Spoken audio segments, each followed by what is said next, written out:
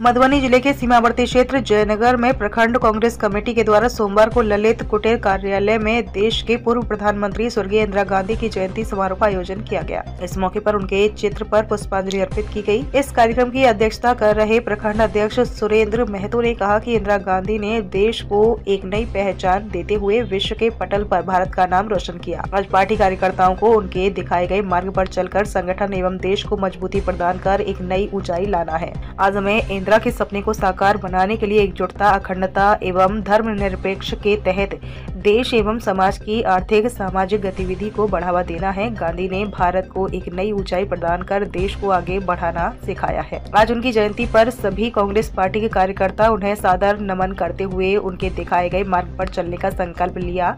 इस मौके पर मोहम्मद चाँद, मुर्तजा गुड्डू शाह, रामचंद्र शाह रविन्द्र पोधार आरिफ राकेश झा, कपिल देव शाह खालिक अवधेश सिंह सहित कई नेता उपस्थित थे। जयनगर से संटू नायक की रिपोर्ट।